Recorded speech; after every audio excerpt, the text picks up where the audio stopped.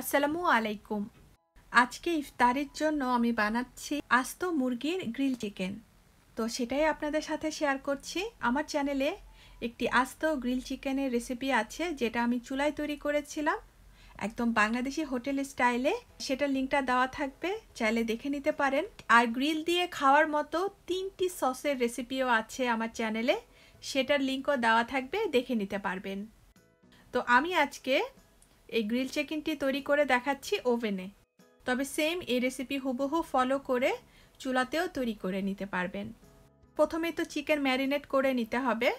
তো এখানে আমি একটি বাটির মধ্যে আধা কাপ পেঁয়াজ বাটা নিয়ে নিচ্ছি, এক চা চামচ আদা বাটা আর এক চা চামচ রসুন বাটা দিয়ে দিচ্ছি। আধা কাপ টক দই দিয়ে দিলাম, এক টেবিল চামচ লেবুর রস দিয়ে দিচ্ছি। তিন চা চামচ গরম মশলা গুঁড়া দিয়ে দিচ্ছি। আমার চ্যানেলে একটি গরম মশলা গুঁড়ার রেসিপি আছে, লিঙ্কটা দেওয়া থাকবে। এক চা চামচ লাল মরিচের গুঁড়া দিয়ে দিলাম। সামান্য পরিমাণে মানে আধা চা চামচ থেকেও কম, জয়ত্রী বা জত্রিক গুঁড়া দিয়ে দিচ্ছি। আর দিচ্ছি এখানে চা চামচের চার ভাগের এক ভাগ জয়ফল গুঁড়া। আধা চা চামচের মতো হলুদ গুঁড়া দিয়ে দিলাম। এতে সুন্দর কালার আসে গ্রিল চিকেনের মধ্যে। আধা চা চামচের মতো পাপরিকা পাউডার দিয়ে দিচ্ছি। কয়েক চিমটি, দুই থেকে তিন চিমটির মতো কালো গোলমরিচের গুঁড়া দিয়ে দিচ্ছি। দিচ্ছি এখানে দুই চা চামচ সয় সস ক্যাচাপ দিয়ে দিচ্ছি দুই টেবিল চামচের মতো। ঘি দিয়ে দিচ্ছি এখানে এক টেবিল চামচের মতো। আপনারা ঘিয়ের বদলে তেলও দিতে পারেন। এখন উপকরণগুলো ভালো করে মিশিয়ে নিচ্ছি। সব শেষে এখানে দিয়ে দিচ্ছি লবণ পরিমাণ মতো। লবণ দিয়ে ভালো করে এরকম হ্যান্ড হুইস্কে দিয়ে মিশিয়ে নিচ্ছি। ম্যারিনেট করার জন্য মশলার মিশ্রণটা তৈরি হয়ে গেছে। এখানে একটি মোটামুটি বড় সাইজের মুরগি নিয়েছি। আমি যেখানে থাকি সেখানে মুরগিটাকে রোস্টার চিকেন বলে। এটার ওজন আছে প্রায় ষোলোশো গ্রামের মতো। মুরগির ভিতরের গিলা, কলিজা আমি সব বের করে নিয়েছি। এরপর খুব ভালো করে ধুয়ে নিয়েছি। আর খেয়াল করে দেখবেন যে মুরগির উপরে চামড়াটা রেখে দিয়েছি। চামড়া থাকলে মুরগির ভিতরটা খেতে বেশি মজা লাগে বা জুসি হয়। ছুরি দিয়ে মুরগির বুকের অংশটাকে এভাবে করে কেটে দিয়েছি, যাতে মশলাগুলো ভালোভাবে মুরগির ভিতরে ঢুকে যায়। মুরগিটাকে ভালোভাবে ধুয়ে নিয়ে পানিটা আমি যতটুকু পেরেছি ঝরিয়ে নিয়েছি মুরগি থেকে। ম্যারিনেট করার জন্য যে মিশ্রণটা বানিয়েছিলাম, সেখান থেকে মশলা বা দইয়ের যে মিশ্রণটা আছে, সেটাই মুরগির মধ্যে দিয়ে দিচ্ছি। পুরাটা মিশ্রণই কিন্তু দিয়ে দিব না, সামান্য পরিমাণে মিশ্রণ আমি রেখে দিব। কারণ আমি যখন গ্রিল করব, তখন ব্রাশ করার জন্য এই মশলাগুলোকে লাগবে। এখন ভালো করে মুরগির কাটা অংশে উপরে, নিচে, সাইডে মশলার মিশ্রণটাকে মেখে দিতে হবে।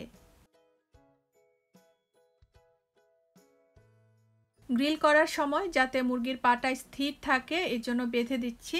এতে মুরগিটার শেপটা সুন্দর থাকবে।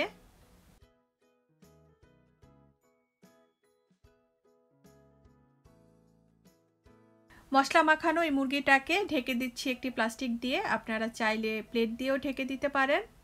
এখন এই মুরগিটাকে ম্যারিনেট করব সারা রাত। যত বেশি ম্যারিনেট করবেন, তত বেশি মুরগিটার ভিতরটা সফট হবে, তত বেশি মশলা ঢুকবে, তত বেশি খেতে মজা লাগবে। সারা রাত বলতে আর কি কম করে হলেও বারো ঘণ্টার মতো রাখা উচিত। যদি এত সময় না থাকে, তাহলে কম করে হলেও চার থেকে পাঁচ ঘণ্টার মতো মুরগিটাকে ম্যারিনেট করে নিতে হবে এই মশলার মধ্যে। আর অবশ্যই নর্মাল ফ্রিজে রেখে দিতে হবে। পরের দিন মুরগিটাকে এখন বেক করে নিব। বেক করা 30 মিনিট আগে ফ্রিজ থেকে বের করে নিতে হবে মুরগি। আমি এখানে একটি ট্রে নিয়েছি। ট্রের মধ্যে ফয়েল পেপার দিয়ে মুড়িয়ে দিয়েছি। এখন এই আস্ত মুরগিটাকে ট্রেতে রেখে দিলাম। আবার একটু মশলা দিয়ে মেখে নিচ্ছি। ওভেনটাকে আমি একশো নব্বই ডিগ্রি সেলসিয়াসে 10 মিনিটের জন্য আগেই গরম করে রেখেছিলাম। এরপর এই গরম ওভেনের মধ্যে মুরগিটাকে দিয়ে দিলাম। এখন একশো নব্বই ডিগ্রি সেলসিয়াসে এই মুরগিটাকে বেক করে নিব প্রায় দুই ঘণ্টার মতো। মুরগির সাইজের উপরে নির্ভর করে, মুরগি যদি ছোট হয় তাহলে সময় আরও কম লাগবে আর অবশ্যই বড় হলে বেশি সময় লাগবে। মুরগিটাকে ওভেনের মাছে বরাবর রেখে দিয়েছি। মুরগিটা বেক হতে থাকুক ওভেনে আর এর মধ্যে আমি কিছু কাজ করে নিচ্ছি। সেগুলোর মধ্যে আছে যে এখানে দেখুন মুরগির উপরে মেখে নেওয়ার পরেও কিছুটা মিশ্রণ আমি রেখে দিয়েছি। এখানে আমি কয়েকটি আলু দুই টুকরা করে কেটে নিয়েছি। একটি ক্যাপসিকাম টুকরা করে কেটে নিয়েছি। চারটি রসুনের কোয়াকে আমি টুকরা টুকরা করে কেটে নিয়েছি। মুরগি ম্যারিনেট করার জন্য যে মিশ্রণটা রেখে দিয়েছিলাম, সেখান থেকে সামান্য কিছু মিশ্রণ নিয়ে এই সবজিগুলোর মধ্যে মেখে দিচ্ছি। এগুলোকেও বেক করে নিব, তবে এখন না আর একটু পরে বেক করব। রেখে দিব এক সাইডে। আমি প্রায় বিশ বাইশ মিনিট পরে মুরগিটাকে ওভেন থেকে বের করে নিয়ে এর মধ্যে যে মশলার মিশ্রণটা রেখে দিয়েছিলাম মানে ম্যারিনেট করার জন্য যে মিশ্রণটা বানিয়েছিলাম, সেখান থেকে মিশ্রণটা নিয়ে এভাবে করে ব্রাশ করে দিব মুরগির উপরে। এতে মুরগির উপরটা ড্রাই হয়ে যাবে না। আরও ত্রিশ মিনিট পরে ওভেন থেকে বের করে নিয়ে মুরগিটার উপরে আবারও কিছু মশলার মিশ্রণ ব্রাশ করে নিচ্ছি। মুরগিটাকে উল্টিয়ে দিলাম। মুরগির এই সাইডটার মধ্যেও মশলার মিশ্রণটাকে ব্রাশ করে নিচ্ছি। আর যে সবজিগুলোকে মেখে রেখেছিলাম, সেগুলো এই মুরগির সাইডে দিয়ে দিয়ে দিচ্ছি।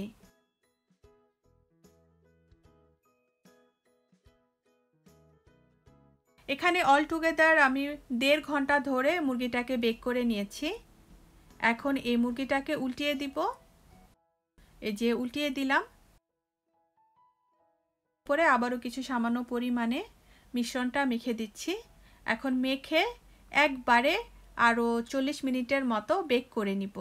আজকে আমি এই মুরগিটাকে অল টুগেদার প্রায় দুই ঘণ্টা থেকে একটু বেশিক্ষণ রেখে বেক করে নিচ্ছি।